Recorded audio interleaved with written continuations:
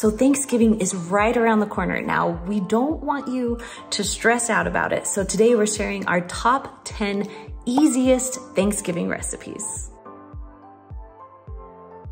So you might have noticed that you don't get to see a lot of the sisters. It's because we all kind of live far away from each other. So I thought it would be fun if each sister filmed one of their favorite easy Thanksgiving recipes so we can share them with you. But really fast before I jump in, I wanna do a quick introduction to my friend Tawra from Living on a Dime. Now I met Tawra at a YouTube conference and we just clicked. Now over on her channel, she's showing you what to do with your Thanksgiving leftovers and teaching you how to make them into delicious meals. All right, guys, Thanksgiving recipes, let's go.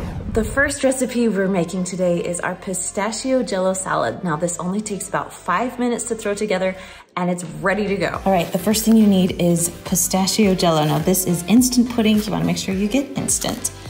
Next, we're gonna just have some pineapple tidbits, some Cool Whip, yes, bananas, and marshmallows. That's all you need. All right, first thing we're gonna add is the pistachio jello just into the bottom of the bowl. Next, we're gonna add just our pineapple juice, not the pineapple yet. Then you're just going to whisk it up really good till it's nice and smooth. Next is my favorite part, the Cool Whip. If you've been around for a while, you know how much I love it. so we're just gonna add eight ounces of Cool Whip, so like a whole little container. Then you're just going to slowly, not slowly, but mix in all the pudding with the Cool Whip. And if you need to grab a spoon, it might make it a little bit easier than a whisk to mix all together.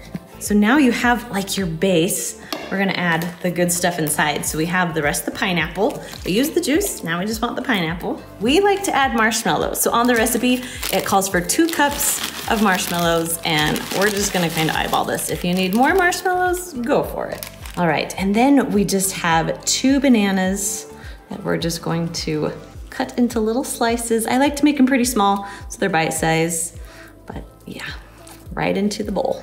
Now it's time to carefully mix this all together. Warning, you will want a little bit bigger bowl just because there is a lot. This makes quite a bit. All right, guys, this is done. And that is it. I love that it just takes five minutes. You don't even have to wait for it to set up. You could serve it right now. Hey, I'm Steph, and the next recipe we're making is slow cooker creamed corn. Okay, to the slow cooker, you're going to add 32 ounces of corn, half a cup of butter. I sliced this up, then half a cup of milk, one tablespoon of sugar, salt and pepper to taste, and then you're going to add eight ounces of cream cheese. Once you've added the cream cheese, I chop mine up into little blocks. You put your lid on and cook for two to four hours on high or four to six hours on low. Once it's all mixed together, sprinkle on some fresh thyme and then serve it. Hi everybody, I'm Camille and our next recipe is make ahead mashed potatoes. This is our most popular potato recipe for Thanksgiving and it's so nice to make them the day before. So we're gonna start with three pounds of Yukon Gold potatoes. Now, if you don't have Yukon Gold, you can use any kind. These are just my favorite to use in mashed potatoes, but you're gonna put them in a big pot and you're gonna fill that pot with water um, just so it covers all the potatoes. You'll put the lid on top and then we're gonna take it over to the stove and we're gonna boil this over medium high heat or medium heat for 20 to 25 minutes so that those potatoes can get soft. Okay, the potatoes have boiled for 20 to 25 minutes. They're super soft, so I drained the water. And now we're just gonna take a potato masher and mash them up. You can do this in a separate bowl. I sometimes just do it in the pan that they were already in. Now, it didn't take long to mash them up because they were so soft. You can also peel these potatoes, but I chose not to. We're gonna just add a little bit of ingredients to make these nice and creamy. So I have half a block of cream cheese, so four ounces cream cheese, and two tablespoons of butter. You can put those in. I also have two thirds cup of sour cream. Dump that right in, and then I'm gonna add some milk. Now I like to use whole milk because it makes them super creamy. I'm gonna add a quarter cup, but really any kind, any type of milk will work. And then the last thing, I'm just gonna add about a teaspoon of salt you can do more or less, however much you want. Sometimes I like to add in some garlic powder too, just whatever seasonings you like for potatoes. Um, because the potatoes are so hot, Everything is just kind of melting really fast. These are going to be so creamy and so good. Okay, as soon as you get them all mashed to the consistency that you want, you can make these as smooth and creamy as you want, or if you kind of like them to be chunky, that works too. What we're gonna do is we're gonna put these in a 9 by 13 pan. So I've got my 9 by 13 here. Now, once you get them all in the pan, you're gonna cover them with foil and you can stick these right in your fridge.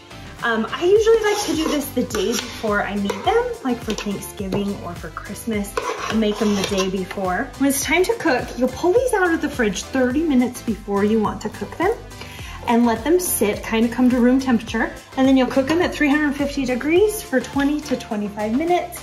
Sometimes I sprinkle just a tiny bit of paprika on top. If you want to, you can add some more butter on top. You can add some green onions. Um, fresh parsley looks good, but you just bake them and they turn out soft and creamy, just like you made them that very same day. So it's perfect if you're trying to save room in your oven and save you a little bit of time on your busy holiday. So there they are, make ahead mashed potatoes. They're delicious. Hi, it's Lauren, and the next recipe we are going to make is a classic green bean casserole. This is a staple on the Thanksgiving dinner table, and if you've never made this before, you're going to be surprised at how easy it is to throw together. For this recipe, I'm starting with one can of cream of mushroom soup, a fourth a cup of milk, and then just a fourth a teaspoon or a little sprinkle of pepper. I'm going to mix all of this together until it's well blended and whisked together before I add in the other ingredients. Once your soup is whisked together and all creamy, you're going to add in two cans of green beans. Make sure to drain those before you add them in. And then I'm going to add two thirds a cup of French's fried onions. Now I'm just going to mix all of this delicious goodness together. After you have folded together the green beans with the soup, you're going to pour it into a nine by nine pan and just spread it out a little bit. We are going to bake this at 350 degrees for about 30 minutes. After you've baked your casserole for about 30 minutes, you'll then sprinkle more of the french fried onions just right on top. I'm gonna place it back into the oven for about five to 10 minutes until they get nice and crispy and then we are ready to go. This is always a favorite on the Thanksgiving table and we know that your family is going to love it too. Hi, I'm Sid, the mom of the six sisters, and the next recipe we are going to make is Grandma's five cup creamy fruit salad. So let's get started. The first ingredient we're gonna add is just so easy, it's just five ingredients, is um, an 11 ounce can of mandarin oranges drained, and then eight ounces of crushed pineapple drained. We're just gonna add all of this into the bowl. Two cups min miniature marshmallows, one cup of sweetened shredded coconut, and then one cup of sour cream. And I know you might think, oh, sour cream, but trust me, it is so good. And then going to mix all of this together. You might want to mix gently because um, you don't want these mandarin oranges to break up too much. So this salad comes together so fast. But the secret is you can eat it right after you make it, but it really is best when it's refrigerated for about two to three hours. That way the sour cream will be sweetened up a little bit by the fruit and then it's just the perfect blend of sweetness with the sour cream, the tanginess of the tanginess of the sour cream. Guys, it's so good. Married into the family, and this was the big recipe at during the holidays, and it's so good. So there you have it, Grandma's five cup creamy fruit salad. All right, the next recipe we're making is homemade cranberry sauce. Now I know you can get cranberry sauce at the store, but this only takes about 12 minutes to throw together and it tastes so much better. So the first thing you need is fresh cranberries. You can use frozen if you want to, but highly suggest the fresh. And then if you have, if you use fresh, make sure that you wash and rinse before using them. Then we have some Simply Orange orange juice. I love Simply Orange and then sugar. And you guys, that's it, so easy. So in a medium saucepan, you want to add one cup of sugar, and then 3 fourths cup of orange juice. And we're just gonna keep this on medium high heat, mix it around until all the sugars are dissolved. All right, all the sugar is dissolved. Now we're just gonna add in our cranberries. Just pour them right in. Okay, so we're just going to mix these for about 10 minutes until the berries start to pop. Now we're on medium high heat. Keep continuing to stir. It's gonna be good. All right, if you guys can see, oh, it's starting to pop and bubbly and it's looking good. All right, it's been about 10 minutes. There are still some berries in there that are whole, so you can just smash them if you want to, but I actually like to leave them pretty whole. They, they taste good. Okay, so we're gonna go ahead and transfer this to a bowl. We want this to cool down because as it cools, it's gonna thicken up. All right, I've let it sit out for a little while. It is now thick and oh man, ready to put on my turkey.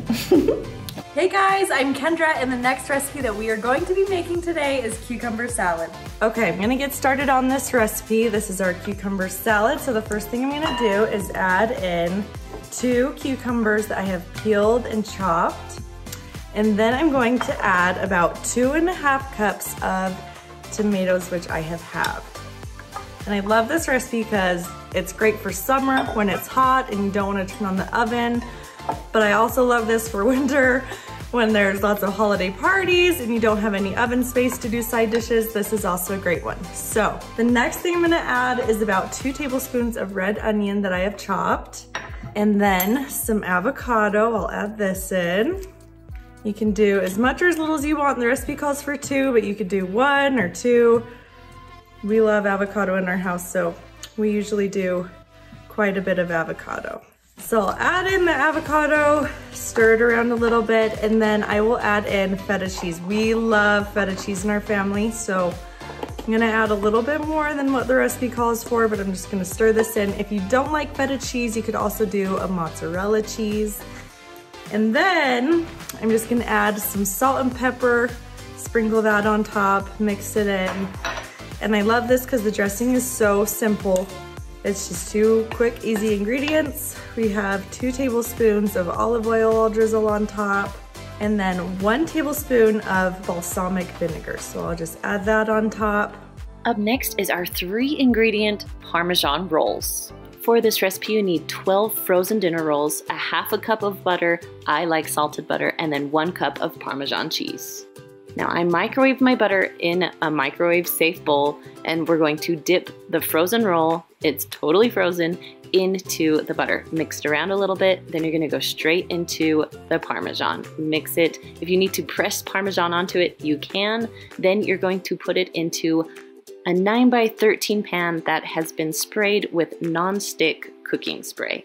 Now you're just going to continue this step until all 12 rolls are onto your pan. Now these rolls need to rise, so we're going to cover them with saran wrap and put them in a warm place. I like to put them kind of in the sun or just a spot where it's going to be warm so they will rise a little faster. Now once they are doubled in size, go ahead and put them in the oven. You're going to cook them at 350 degrees for about 15 minutes or until they are golden brown on top. I like to serve this with just a little bit of butter and it's the perfect side dish. Now our next recipe is a little bit healthier. It's our Instant Pot green beans. All right, next recipe, we're going to make some beans. So I have two tablespoons of butter, one cup of water, one pound of green beans, and then on top of the green beans, I'm gonna add just a little bit, like a teaspoon of garlic and go ahead and put your lid on. Make sure it's all the way tight. You're gonna turn it again to sealing so it will pressurize and you're gonna go all the way down to five minutes. Now I cook mine for five and they're really well done. You can even do two minutes and they'll still be good. Now when it shows the L, that means that the timer is done and you're ready to let the steam out. So that's called a quick release. So I turn the little knob, once all the pressure is out, my lid will come off and my beans are ready to go. So all I have to do is mix them around a little bit.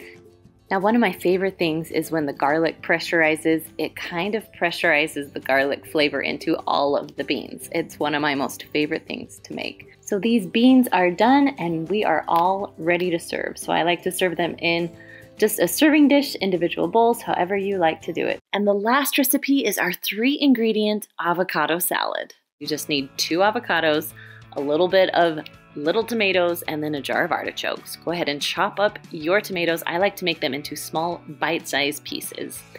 Then go ahead and dump those into your serving bowl. Next, we're gonna cut up the avocados. I also like to put these, cut these into small bite-sized pieces because you don't want a huge bite of avocado and nothing else.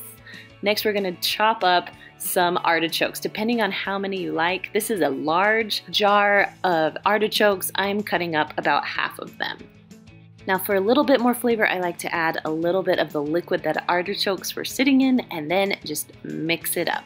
This recipe is my go-to side dish. Now, if you need more Thanksgiving ideas, we actually have a 175 recipe ebook on our app. I'll put a link down below for you. Or you can check out some of our other Thanksgiving videos. All right, guys, I'll see you next time.